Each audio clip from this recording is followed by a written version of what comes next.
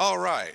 Well, I don't know what uh, happened. I just found out a few minutes ago that my PowerPoint slides that I attempted to uh, share through Dropbox, uh, which I dropped into Dropbox yesterday, I thought around 11 or 12 a.m., um, somehow did not get uh, to us, uh, get to the team this morning that puts that into uh, the video. So you will not have PowerPoint slides this morning, I understand. And so well, we'll go ahead and make do without that. And um, hopefully, uh, I'll be able to uh, say things in a way that helps uh, make up for that. All right, well, we're in a section of Romans, um, Romans chapter 13, continuing some of the material in chapter 12 uh, that is entitled The Christian and the State, verses 1 through 7. Okay, this is a section on the Christian and the Christian family. All right, well, the Christian the Christian state, we're going to look at verses 1 through 7. We're going to begin in verse 1. And the point on the slide that would have been there proper attitude, submission to authority. Now, this is in a section on God and the Christian family, and uh, in particular, as we looked at in the previous week, how Christians should behave. And so I'm thankful to the Lord that He gave us uh, the Word of God, aren't you? I'm thankful that the Word of God is given to us as a guidebook of life, uh, telling us both what to believe and uh, how to behave. And so we have this continued uh, guidance this morning, and we're in chapter 13, 1 through 7. This, in particular, the first seven verses of this chapter, is our relationship to government. And how appropriate is that? Because we have been interacting with government a lot this year. I think a lot of us are tired of interacting with government, uh, as in having to follow coronavirus, COVID 19 regulations. Uh, but now we have a section of the Word of God uh, that reminds us of some things that should be our attitudes, uh, should be what we're doing. Well, let's begin in verse 1. Again, this first point on the slide our, a proper attitude is submission to authority. Romans chapter 13, verse 1 Let every soul be subject unto the higher powers. For there is no power but of God. The powers that be are ordained of God. Now, the word soul in this passage is just talking about a person. Okay? So let every person be subject unto the higher powers. Subject, that is, uh, in submission to. Okay? And so the word powers here, um, one uh, commentator mentions uh, elsewhere that Paul uses this term uh, to reference angelic powers, uh, even sometimes fallen angels. Uh, but that is not the thought here in this one. He's, he goes on to say, in the present context, the powers appear to be human rulers. And so, even though there are powers of darkness, even though there are angelic powers that would be of light, uh, that's not what the reference here is referring. We're talking about those that are in leadership position that are human leaders. Okay? And so let every soul be subject or in submission to the higher powers. Now we come to a, uh, a core truth here uh, in the second part of this verse that tells us why that should be that way. For there is no power but of God. Amazingly enough, when we uh, think about all the rulers of the world, where do they get their power from? It's delegated by God. Um, you might say that Paul places this whole question on a very high plane. God Himself is the fount of all authority. And so when you look at our rulers, they cannot do anything but that they're allowed. Do you remember the words of Jesus to Pilate when he's on trial? Pilate says to Jesus that basically he has power over Jesus. Don't you realize I could put you to death or I could free you? And Jesus says, You don't have any power, but it's given to you by God. I'm, of course, paraphrasing that passage. Um, but Pilate did not have any power except that God allowed him to have power. If we have an understanding of God's sovereignty, we understand that that's the case. Now, we'll, we'll come back and tackle a question, um, maybe sometimes a little bit of a disturbing question. What about those rulers that are very wicked? What about a Mussolini or a Stalin or a Hitler, the three leaders of countries there in World War II that were just horrendous. And, uh, and, you know, well, we'll get into that later. What about those kind of leaders? Well, um, there aren't exceptions here. And uh, this study this morning is, is too short, uh, too narrow for us to get into some really detailed thoughts on God's sovereignty. But uh, we do learn in, Christ, in, in the scriptures, and just to summarize it, God works through evil people and evil circumstances to accomplish his good will, as well as working through the good. And so, again, our study this morning can't get into uh, super great detail on the sovereignty of God, but just because there are evil rulers does not dismiss um, or cause to be untrue the fact that political leaders get their uh, powers from God. They are delegated by God. And so, therefore, in this passage, the, the thought that Paul is addressing here is this to disobey the political leaders or other leadership. By the way, this, this is broader than just political leadership. So I think this uh, also is, uh, could be applied to leadership within the body of Christ, um, leadership within the church, pastoral leadership, uh, for example. Okay? And so this is what commentator says to disobey them is to disobey God. Human government is a divine ordinance, and the powers of coercion and condemnation which it exercises have been entrusted to it by God for the repression of crime and the encouragement of righteousness. Okay? So again, let's read that verse there. There is no power but of God the powers that be are ordained of God. Now it goes on in verse 2 to give us some more information about these thoughts. Verse 2 Whoever therefore resisteth the power resisteth the ordinance of God, and they that resist shall receive to themselves damnation, or like a condemnation, or uh, God um, bringing down his uh, verdict of guilty and uh, any punishment that comes with that. Um, Whoever resisteth the power resisteth the ordinance of God. So I'd say for us uh, this morning, a, a core underlying um, principle for us to live by is this that we understand that, uh, that authorities that are out there have been delegated that by God, and that we're careful not to challenge that because we're really challenging God. Now, uh, one example of another uh, situation of authority uh, that I don't think it's the, the immediate thought here, uh, but it's a true thought uh, nonetheless, and that is parental authority. Uh, so for young people out there, children, uh, the Bible says in Ephesians, children, obey your parents in the Lord, for this is right. Parents have been given their authority delegated by God.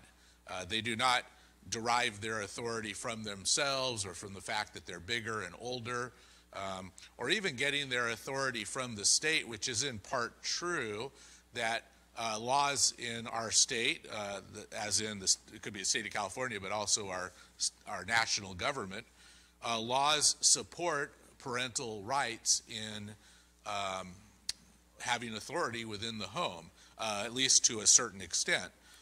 Um, so um, here, when we resist authority, we're really resisting God that uh, will receive a punishment for that.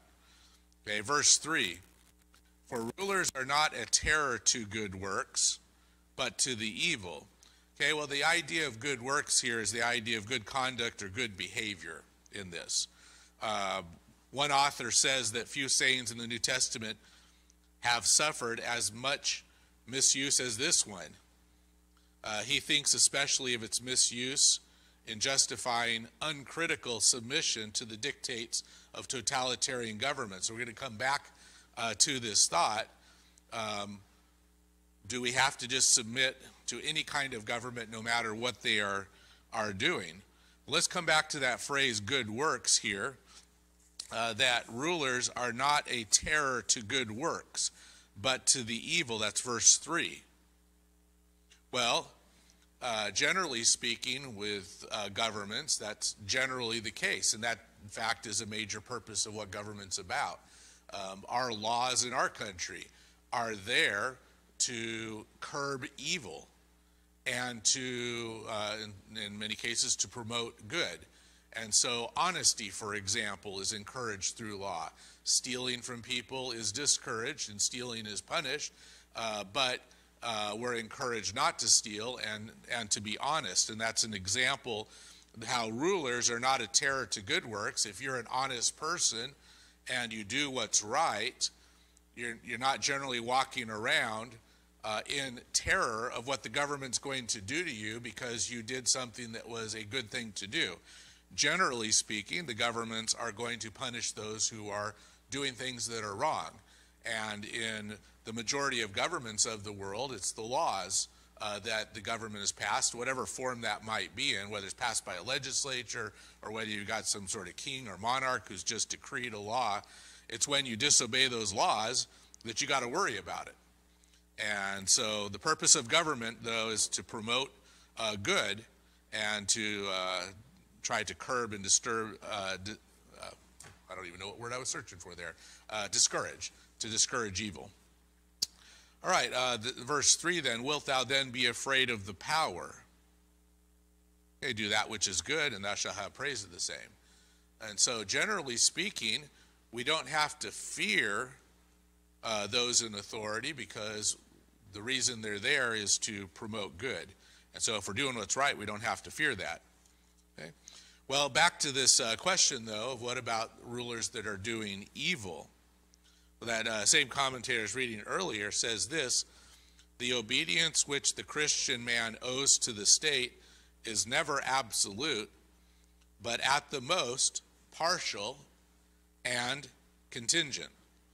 It follows that the Christian lives always in a tension between two competing claims.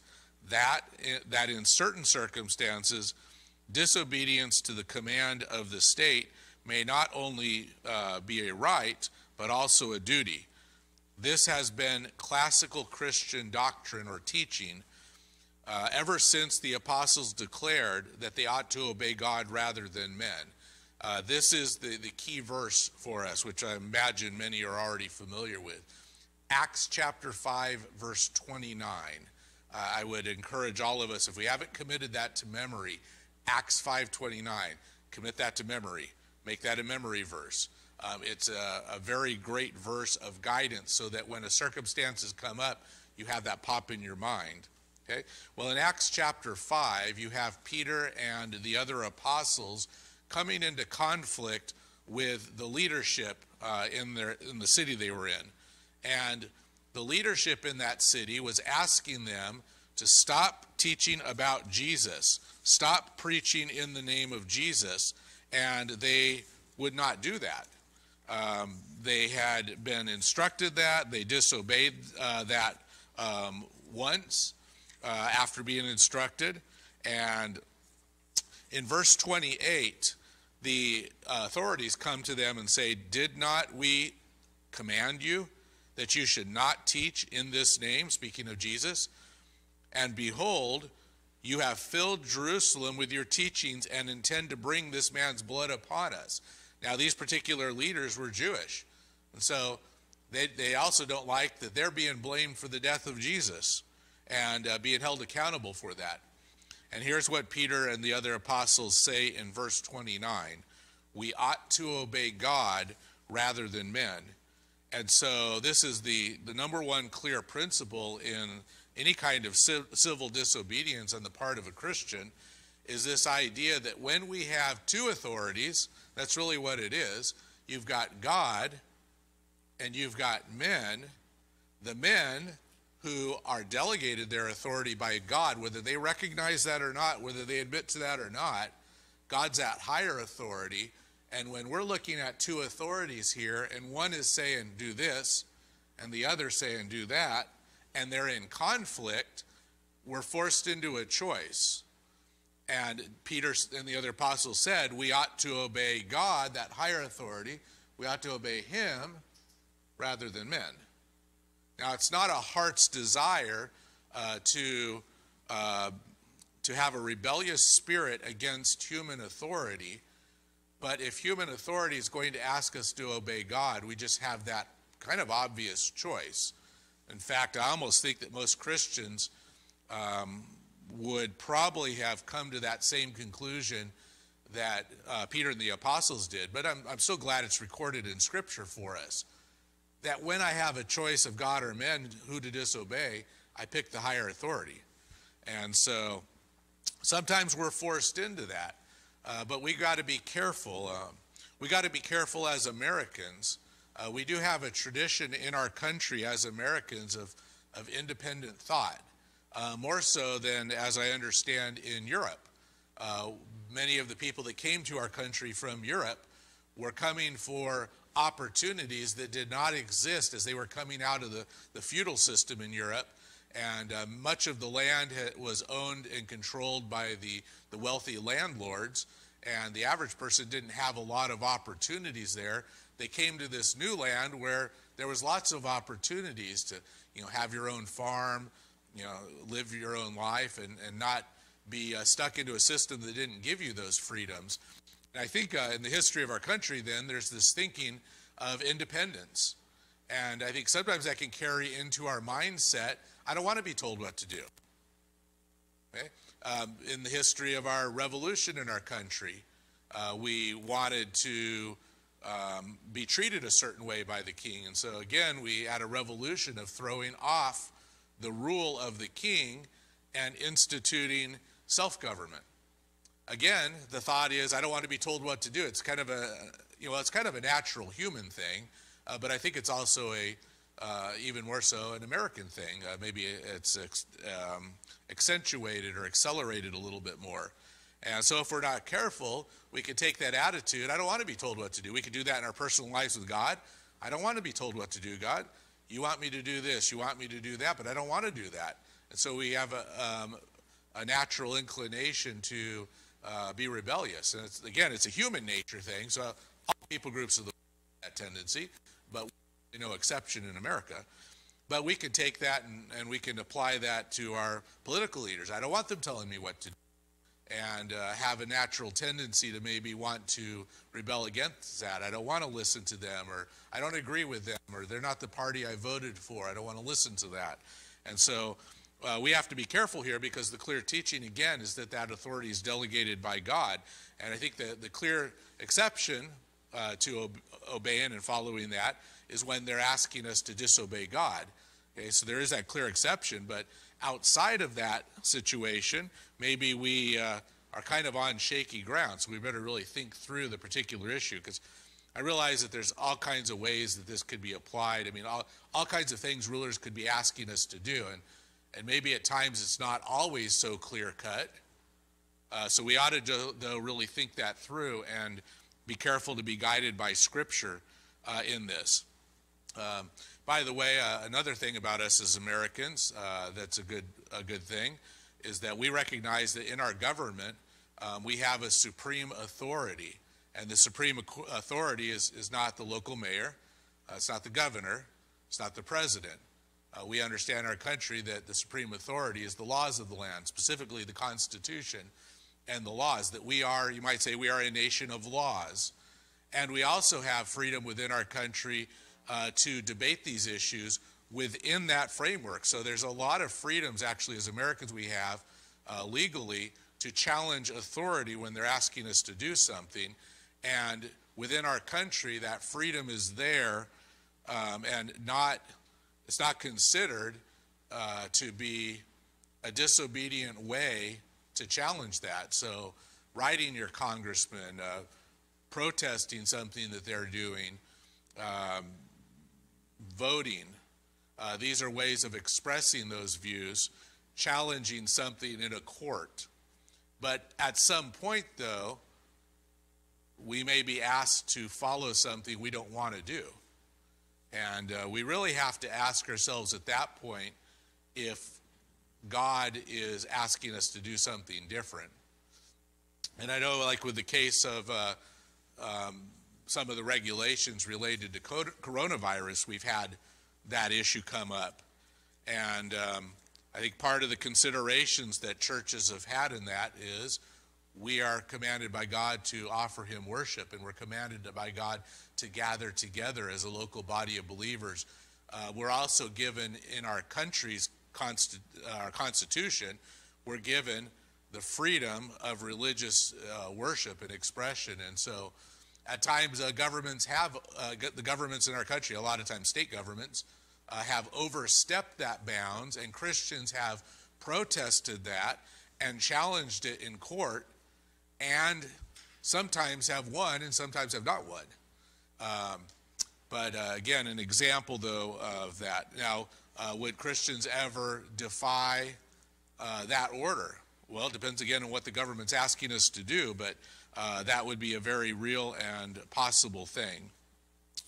All right, so again, that's uh, the first three verses of chapter 13, and all of that falls under the title prop, uh, Our Proper Attitude is Submission to Authority. Now, let's go on to a point number two government is instituted. Well, I've actually kind of got ahead a little bit on this one. Um, I mentioned this already prematurely, I suppose. A government is instituted by God for our good. And uh, this goes in, is gone into more detail in verse 4. It says, For he, speaking of the, the, human, um, the human leadership or authority, he is the minister of God to thee for good. But if thou do that which is evil, be afraid. For he beareth not the sword in vain, for he is the minister of God, a revenger to execute wrath upon him that doeth evil. And so again, we I won't go into that point again, as I've mentioned that God has instituted these uh, institutions and these people for good. Uh, but I will add to that um, this next thought, and uh, this would be um, a motivation for our submission. Okay, so I'd add this as a third point, a motivation, and there's a twofold motivation that is here mentioned in this. Fear of punishment. Okay? If thou if you do what's evil, be afraid. Fear of punishment. Now, I don't think that's our primary motivation because our primary motivation is submission to God. God, if you instituted government, then I respect you. Because of my respect and submission to you, I'll respect and submit to what you've created. So respect and submission to God is the primary motive. But the secondary motive is the government can get you. Uh, and, and we know about that. I, uh, anyone like paying their taxes? Income taxes, income tax form? You enjoy that? Okay, you're strange if you said yes to that. Um, we don't want to pay taxes, uh, but we recognize, um, as Christians, we recognize it's the right thing to do. But beyond that, we know if you don't, the government doesn't just sit around and say, oh, you didn't feel like doing that? Well, okay, I guess we'll let you out. Uh, no, the government's going to come after you. Uh, they're going to, you know, they don't have a problem taking your home away from you for lack of paying taxes or, or uh, uh taking other property away. And so be afraid of what they can do to you. Uh, but here we have a reference, he beareth not the sword in vain. Uh, well, the sword is represent, representative of punishment, but that also is hinting at the ultimate punishment, capital punishment, uh, taking one's life, executing a criminal, um, a revenger to execute wrath upon him that does evil. And so this is part of that delegated authority. Now, you read about this back in the book of Genesis. Um, Genesis says, when a man sheds another person, person's blood, in other words, a man commits murder, okay, by man shall his blood be shed. Capital punishment uh, is talked about in the scriptures. Now, uh, some might have a little bit of a, of a conflict of uh, uh like a, you know, really a, kind of torturing themselves in their minds what to do on this. What if you're a Christian and you're in governmental leadership? Uh, you, you, have the um, instructions by our Lord Jesus of things like turn the other cheek, okay? um, not casting the first stone. And how do you reconcile these with instructions to government to execute wrath on those that do evil? And so uh, we would hope and trust and, and pray that Christian leaders have some wisdom on how to apply Scripture. It's really hard to give a blanket statement to all of that because, again, it depends on the circumstances and situations. Uh, but the fact is, I think a Christian leader may be called upon to execute wrath on someone in their government leadership position. Okay? Uh, but the Bible says in general for us, uh, vengeance is mine, I will repay, saith the Lord. And so, in, in, general, for Christians, executing wrath and revenge and vengeance is not our position or, or in general what we're to be doing, but that may not always be true. You might have a Christian that's in the position of, you know, maybe a prosecuting attorney or a judge in a court um, making these kind of decisions. And in that case, again, we, we pray and hope that they're using the scriptures for guidance as to the level of wrath to execute and what to do. Um, but again, that's instituted by God. Okay, so fear of punishment by governmental authorities.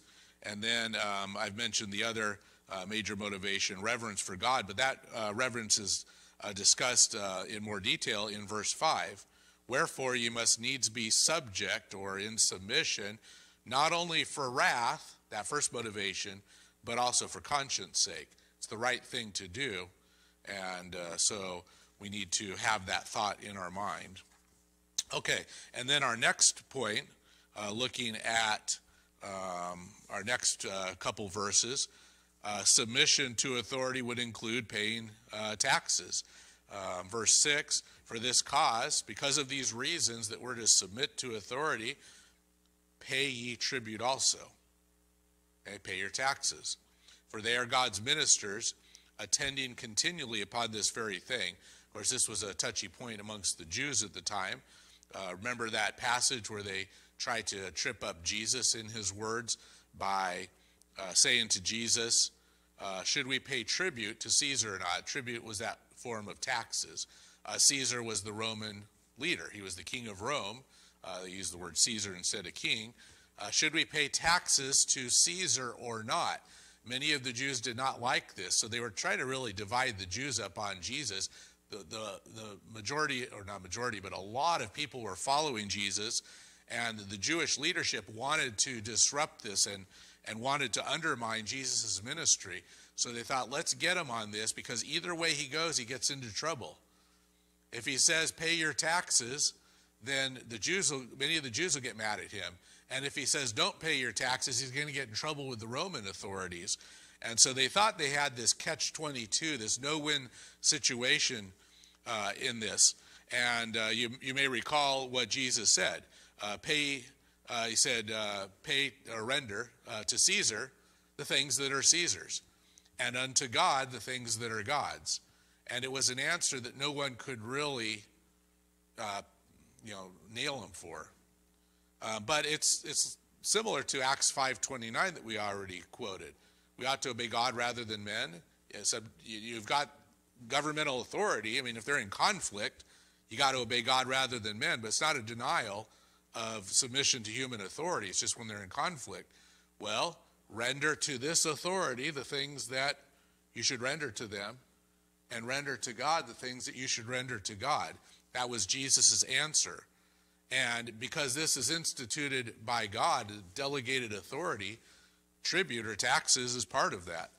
And so, because of this, uh, the verse 6 says, Pay ye tribute also, for they are God's ministers, attending continually upon this very thing, or they're on these things that we've been talking about, um, especially when we go back to that uh, verse 4 He is a minister of God to thee for good. And uh, the fact is that those types of things uh, take money. Uh, government, you know, police officers, things like that, um, public officials, they, uh, if that's what we're having them do, like you have a police officer, he still has a family to feed, he still needs a place to live, you got to pay that. Um, if we're going to have, you know, police officers, firefighters, I mean, these are all part of the civic authority. Um, they're, uh, those kind of institutions are uh, founded because local leadership has instituted those. They, they're making decisions on building a police precinct or a fire station, and and that, that stuff costs money. And and so then the, that political leadership, you know, city council, uh, board of supervisors, is passing ordinances of taxation, maybe the state government. Sometimes in our system, they put it to the vote of the people, which also the passing of, uh, of something like a tax by the people carries the same weight of law. And so we have to have that submission there. Okay. Um, so let's see. Now, one uh, commentator mentions on that phrase, pay ye tribute also. He says in the uh, authorized version, that's the King James Version, says, as in the Greek, This may be understood either as a statement or a command. And this uh, particular uh, commentator thinks it was it's probably more of a statement. Okay, so he, he kind of summarizes this way. Um, this is your justification for paying taxes to pagan rulers. And so this meaning their delegation from God, as, as we looked at, the fact that they could execute wrath, uh, the fact that our reverence and, and submission to God is in play because of these things, paying your taxes, you got justification for doing this as a Christian, even if if you think that the government is using some of that in a way you wish they wouldn't, or even if you disagree, you've got this justification for doing it. That's the way this uh, one commentator puts it, because they are God's servants. Now, whether, by the way, that's whether they recognize it or not, that, that's irrelevant. They are God's servants. Uh, they might not um, admit to that. The Bible tells us uh, in the future, every knee shall bow. Someday we all stand before God. Every knee shall bow. Uh, we don't decide whether God's our uh, authority or not. Government may say God's not our authority. They might declare God to be non existent, or they might recognize God's existence. Um, it's all irrelevant because they are God's servants, whether they admit to it or understand that or not. Verse 7, uh, kind of a concluding verse of this first section render therefore to all their dues tribute to whom tribute is due, custom to whom custom, fear to whom fear honor to whom honor. And we kind of hear in that kind of a wrapping up of several of those thoughts. Tribute and custom, so paying taxes. Fear to whom fear, you know, fearing what government can do if we break the law. And so, um, render in this, render therefore, kind of does echo, doesn't it? Uh, the words of Jesus when he said, render to Caesar the things that are Caesar's, to God's the things that are God. Uh, that's uh, Mark 12, 17, by the way, where I've been quoting Jesus on that, on his uh, answer to the, the leaders who were trying to trip him up. Okay? All right, well, let's go to a new section here. Okay, so that first section there uh, was a section on our relationship with governmental authority. Um, I've entitled it The Christian and the State. Well, what about this next section? Now, remember this so we don't lose, uh, we don't lose sight of the overall picture of where we're at. This is about how Christians should behave. And those first seven verses of chapter 13, how should we behave in relation to authority? Governmental authority, it could be applied to parental authority, authority within the church, but the most immediate um, uh, thought there was governmental authority. Okay, so that was how do we behave ourselves in relation to authority? This next section is going to broaden this out because that, that's really in our relationship with to some people. Um, you might say um, some of our neighbors, and I'm using that word in the biblical sense. But there are other neighbors around us who are not authority. And so now let's broaden this out. How should we behave with them? Okay, I've entitled this section, Love Your Neighbor as Yourself, which obviously I put it in quotes. If we could see the slide, you'd see that title of the slide in quotes. Because it's obviously a quote of Scripture if you're familiar with that passage. Okay, love your neighbor as yourself. Um, verse 8, let's read that. Owe no man anything but to love one another. For he that loveth another hath fulfilled the law. Well, this is the law that, that is being hinted at in the title I gave Love Your Neighbor as Yourself. Um, we're told that there are the two greatest commandments in the Bible love God and love others. So these are the greatest commandments, and we'll come back to that verse. It's uh, uh, in one of the Gospels that I have later in the in my notes here. Uh, but we'll come back to that. But uh, the verse says, "On these two commandments hinge or hang all the law and the prophets." That everything we're to do in Scripture comes back to these two commandments: love God and love other people. And so we see a hint to this um, beginning here um, but uh, where it says to love one another. Uh, but this is going to be the rest of this chapter. So we're going to look at verses 8 through 14 now. Okay? But notice this it says, owe no man anything. That's kind of interesting. Uh, don't owe, uh, uh, owe someone anything. Now, what is meant by that? Well, the general admonition of Scripture is, uh, to the extent possible, uh, be, be careful about debt. Now, does the Bible say that debt is always wrong? I do not believe so. But the Bible does warn about debt. Uh, here's some examples Proverbs 22 7. The rich ruleth over the poor, and the borrower is servant to the lender. Um, we know what would happen if we stopped paying our mortgage. We know what would happen if we stopped making that car payment. Uh, we know that the lender has power over us to take those things away from us. And so there is a power there. Now, I'm kind of glad we don't live in a society where people get thrown in jail for debt. Uh, that used to be that way, debtor's prison, uh, where people would go to jail. Um, we don't have that in American society, but still there's a ruling over us in other ways when you're in debt to someone else.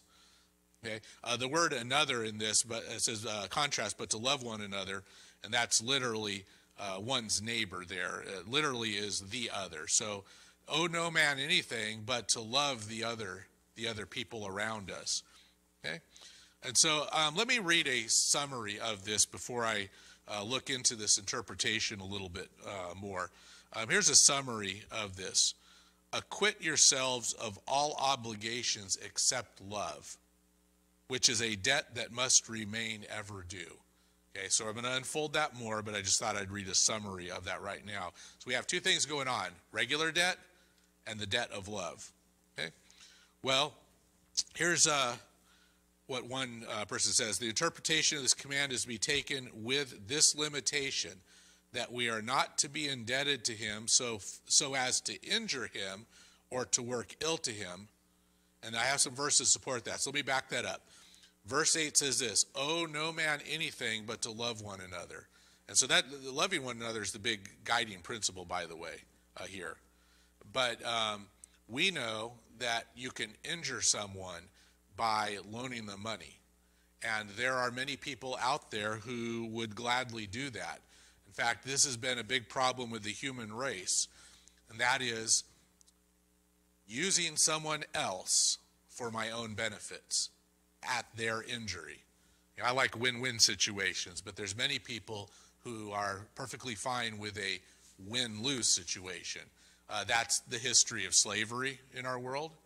Uh, that's the, the history of the mistreatment of, of other people in many cases. Here's some biblical principles that guide this. Let's tie this idea of loving other people to uh, debts and loaning money. Exodus chapter 22, verse 25 to 27, instruction in the Old Testament law about loaning money to your neighbor says, If thou lend money to any of my people that is poor by thee or next to you. Okay, guys, um, the, the scriptures I do not believe prohibit ever loaning money to people. That is why in this passage, amongst many others, it says, if you do that. Now, there's lots of cautions against it, but it says there, if you lend money to any of your people that is poor beside you, uh, so if you're going to loan money and it's to a person who's poor, and oftentimes that can be the case, people that have no money at all that are poor are ones that are, are going to potentially be tempted to borrow money because they don't have many options there. They don't have resources there uh, to fall back on. It says, Thou shalt not be to him as an usurer or as someone who is charging interest. Neither shalt thou lay upon him interest charges Usury is the word used here in the King James. If thou at all take thy neighbor's raiment to pledge, thou shalt deliver it unto him by that the sun go down. For that is his covering only, it is his raiment for his skin. Wherein shall he sleep? And it shall come to pass wherein he crieth unto me that I will hear, for I am gracious. Well, here's what the picture is. This is a poor man, and many of the poor in, in that time period, uh, when they went to bed at night, what did they have for a blanket? They had their coat. And it says, You're not going to go to that person and say, Okay, I'm, I'm willing to loan you money, but I need some sort of collateral for that. I need some, something that you give me for that. Oh, okay, you don't have much to give me. Give me your coat, as kind of I hold as collateral uh, for the money so that we can get that back. And, and God said, if you do that, you're not going to keep that 24 hours. Uh, you, maybe you do that for a couple hours, but you're going to give that back to him, whether he pays back the loan or not. You're going to give that back to him so he has a blanket for the night, so he has a covering for him when he goes to sleep. In other words, we're not going to exploit another person for our own benefit in a way that is in injury or injurious to him. We're not going to put him in a position where he's crying out to God in, in prayer uh, because of the pain that we've inflicted on that person and the, the hardships that we've put them in. Okay, in other words, we're going to love our neighbor. We're not going to use them as an opportunity for our own advancement at their expense. Now, can we ever loan someone to them and charge them interest? I think we can when we're in a situation where it's not going to harm them. Okay? When they have the ability to pay back that loan and they're, they're working and able to pay that back without being destitute, without going hungry, without having you know, no blanket at night. Okay, so we have to have that kind of love for other people. Uh, here's another example Deuteronomy chapter 24, verse 6. No man shall take the nether or the upper millstone to pledge. Now, again, a, a pledge is collateral, it's something you take in exchange for the money. You basically say, I'm holding on to this until you pay this back. Once you pay it back, you can have it back again. It's kind of the, the backup of the loan. It says here, you're not going to take the nether or the upper millstone for that pledge. You're not going to do that. Why? For he taketh a man's life to pledge. What was that upper or nether millstone? This, this was a small millstone uh, for making daily bread. So here you have a poor person, and this is their this is their tool for grinding uh, wheat or whatever, grinding it into flour so they could actually have bread to eat for the day.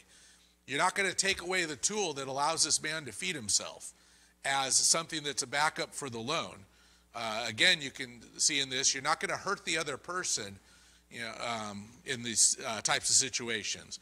Uh, Deuteronomy 24, 10 to 13, when thou lend thy brother anything, thou shalt not go into his house to fetch his pledge. Thou shalt stand abroad, and the man to whom thou dost lend shall bring out the pledge. So, in other words, you, you're going to give him some respect, and you're going to treat him with some dignity and you're not going to just go charging into his house to take back uh, something. Uh, you're going to stand outside and let him bring it out uh, to you. It says that um, in any case, thou shalt deliver him the pledge again when the sun goes down, that he may sleep in his own raiment and bless you. And it shall be righteousness unto you before the Lord your God. A similar thing, you know, holding a pledge of something like his cloak, his outer garment. Okay? And so, in the case of a poor man, um, who, as one commentator says, who had pledged his cloak, it was to be restored before night, as the poor in eastern countries have commonly no other covering for wrapping themselves. Um, but here it says in the end that they may bless you. God will bless you when you treat other people well, when you don't hurt them in the process of getting something for yourself. And so we're uh, told back here, in, back in verse 8, owe no man anything but to love one another. And the major focus is that. Now, we want to be careful about debt, but let's focus on uh, the loving one another side of uh, things. Okay, this is a debt. In fact, by the way, this, this section uh, kind of you know transitions uh, from our first section there. You have things you owe government, but now let's talk about other debts that you have. Well, be careful about getting into debt, but we have a debt of love here. And the section uh, of the verse that says, But to love one another, uh, love is a debt which can never be discharged. You can never pay it off. Here's a debt you have. You need to love people, pay it off, and pay it off.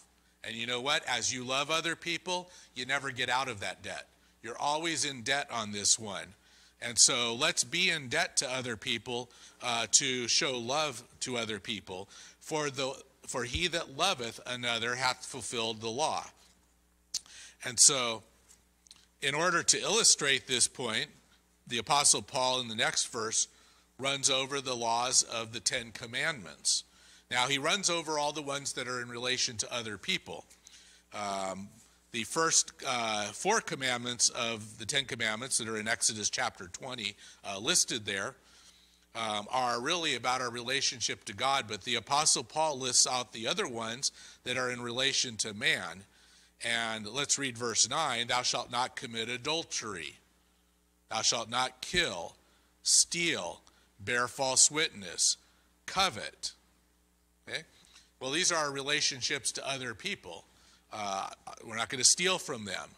You're not going to commit adultery, have a relationship with someone that you don't have a right to, violating their relationship with others, like uh, someone who's a married person, violating, really injuring their spouse by having a relationship with them, injuring their spouse, coveting what they have, wanting what they have, stealing what they have. It's our relationship to people. If you love another person, you don't have an adulterous affair with their spouse. If you love another person, you don't steal from them. If you love another person, you don't look at something they have and say, I wish it wasn't theirs, I wish it was mine. You would rather rejoice with them. I'm so glad they have that. Look at the car they have. That's a beautiful car. I'm so happy for them. You might say, I wouldn't mind if the Lord blessed me with a car like that, but I don't wish their car was mine because I'm happy for them, uh, because I have a love in my heart for them, and I'm glad for their good fortune, okay, that God has blessed them. And the end of uh, the verse there, verse 9, thou shalt love thy neighbor as thyself, is that overarching uh, law for us. Verse 10, love worketh no ill to his neighbor. Therefore, love is the fulfilling of the law. And so we are to love our neighbor. And I haven't mentioned, uh, I've been going through the points of the slide, but forgot to mention them specifically. We're actually now on a third point of the slide. Have the mindset of alert expectancy. So we're going to wrap this up quickly because I'm out of time. But Romans 13, beginning in verse 11, and that, knowing the time, that now it is high time to awake out of sleep, for now is our salvation nearer than when we believed. Okay, so it is high time to awake out of sleep. We need to be alert and be aware that God could return at any time, and we need to have this, this attitude of wakeful expectancy of the Lord's return.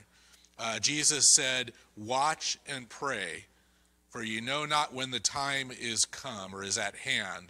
Watch ye therefore, for you know not when the master of the house cometh, lest coming suddenly he find you sleeping. He said, that was uh, Mark 13. Matthew 24, blessed is that servant whom his Lord, when he cometh, shall find so doing, being watchful, looking for the coming of the Lord. And so in this verse, uh, we have here that our salvation is nearer than we when we believed.